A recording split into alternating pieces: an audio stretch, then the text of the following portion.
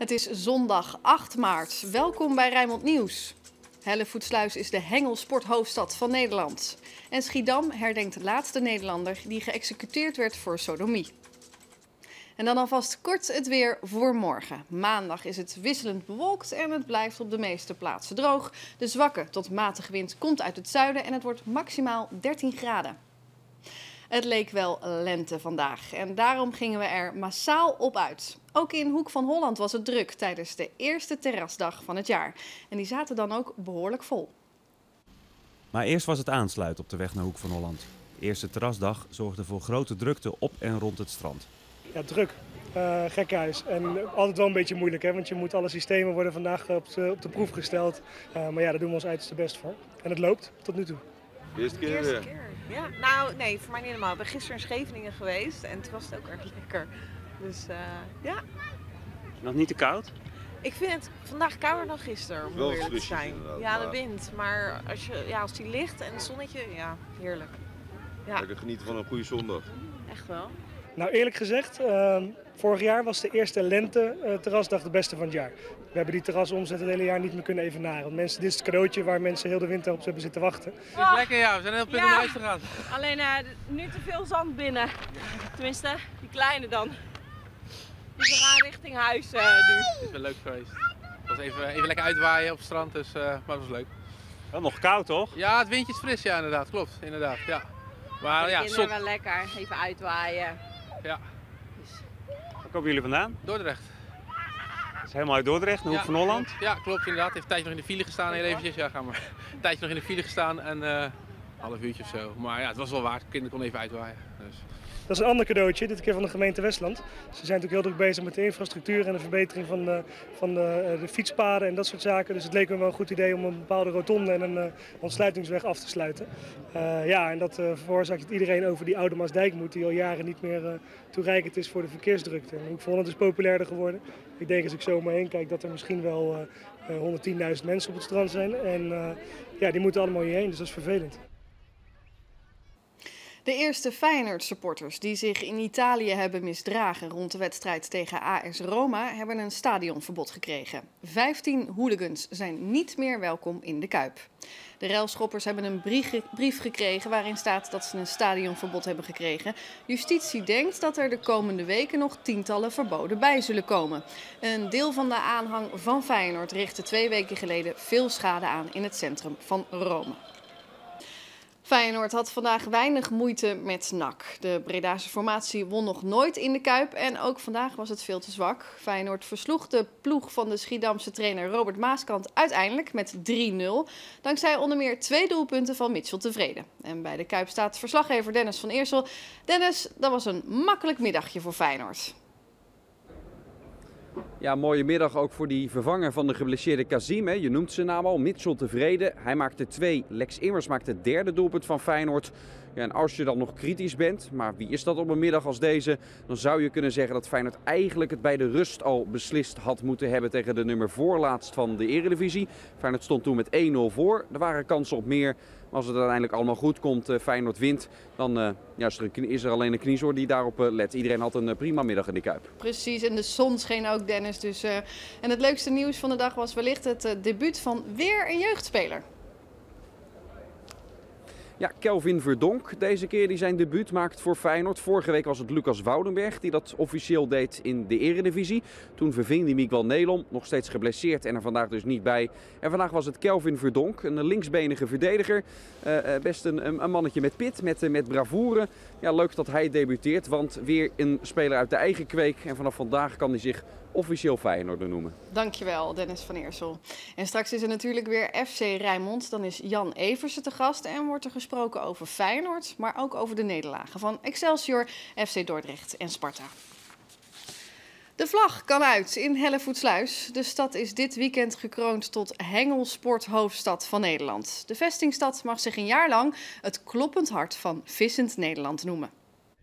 Amper bekomen van de feestvreugde is de plaatselijke hengelsportvereniging vanochtend al vroeg op de been.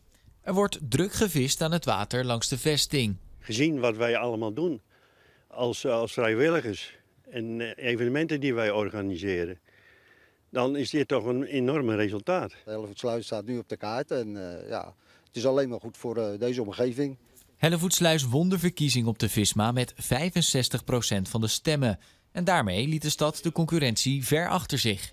Waarom is dit nou zo'n populaire visstad? Het heeft uh, een uh, heel mooi bestand in de vestingwater aan uh, karpers. En om Hellevoetsluis heen zijn er diverse mogelijkheden om je hengel uit te gooien. Zowel in het zoet als in het zout. Daar komt dan nog bij dat we hier in gelukkige omstandigheid zijn. Dat, het Voorneskanaal is een van de beste viswateren van Europa. Waardoor ook hele competities hier worden afgewerkt. Zowel uit Engeland als andere landen. Maar aan dat Voornse kanaal lijkt niet iedereen even enthousiast. Nu Hellevoetsluis op de kaart staat, vrezen sommige lokale vissers voor concurrentie van buiten de stad. Voor ons, die hier altijd al vissen, ja, eh, niet eigenlijk leuk. Want je hebt eigenlijk alleen het weekend de tijd. En dan denk ik, ik ga lekker op mijn plek zitten. En dan zit er al ander te vissen. Je krijgt veel drukker langs de waterkant, meer lijnen in het water. Ja, en die vissen die gaan dat gewoon merken. Dus het zal voor ons moeilijker gaan worden. Ik denk dat, uh, dat er nog zat plekjes zijn die ik wel weet en andere mensen niet. En dat wou ik wel zo houden ook. Sinds als ik hier woon, zijn er een heleboel mensen bijgekomen. En nou, enkele goede vissers. Ik geef ze altijd nog een lesje. Ja. De verkiezing tot hengelhoofdstad van het jaar werd dit weekend voor de vierde keer gehouden. Hellevoetsluis neemt het stokje over van Den Haag. De Rotterdamse Museumnacht heeft 4700 bezoekers getrokken. En dat zijn er een stuk minder dan vorig jaar. Toen kwamen er nog 15.000 mensen naar de culturele nacht.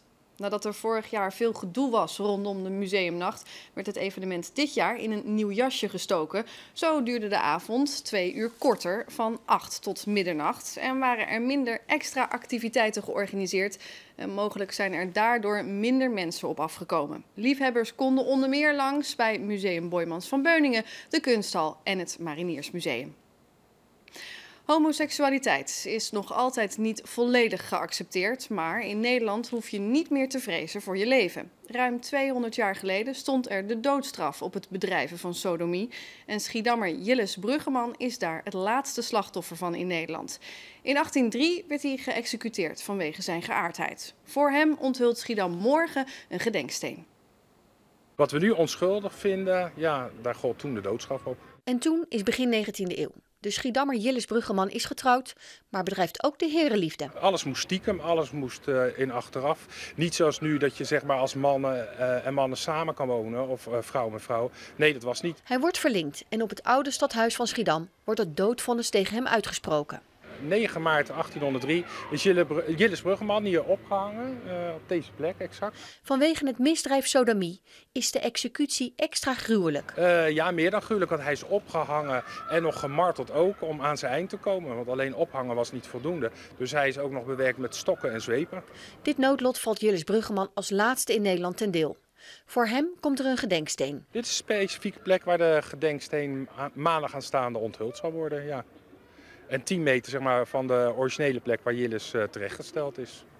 De bezetting van Napoleon brengt Franse wetgeving van liberté, égalité en fraternité naar Nederland. En na Jillis voltrekt zich geen executie meer vanwege homoseksualiteit. Maar daarmee is andersgeaardheid nog niet algemeen geaccepteerd. Nog steeds gebeurt het in uh, landen in het Midden-Oosten. Maar laten we ook heel eerlijk zijn, als jij jongen of meisje bent van 15, 16 jaar en je zegt dat je homoseksueel bent, niet dat je ter dood veroordeeld wordt op de voetbalvereniging, maar je voelt je er niet heel erg plezierig. Als je op de middelbare school moet vertellen dat je homo of lesbisch bent, moet je toch wel heel sterk in je schoenen staan. Dus de, de vorm van discriminatie is anders geworden, maar het bestaat degelijk, het bestaat nog wel steeds, ja. Naast de gedenksteen komt er een penning, waarop de stukken staan van het proces tegen Jillis Bruggeman. Maar in zijn geval werd dat specifiek op papier gedaan en werd het in een zak verborgen, omdat het te erg is voor woorden wat die man allemaal niet had gedaan. Daar hebben we ook die penning van gemaakt. En deze penning gaat jaarlijks naar een strijder voor emancipatie. Zodat er ieder jaar weer opnieuw aandacht kan zijn en ook zeg maar, bij de homogemeenschap uh, een bewustwording van goh, zijn we bezig op de goede weg? Want de strijd is nog niet helemaal gestreden. En dit jaar gaat de Jillis Bruggeman-penning naar Amnesty International. En dit was Rijnmond Nieuws. Meer nieuws op onze website rijnmond.nl. En nog een mooie dag verder.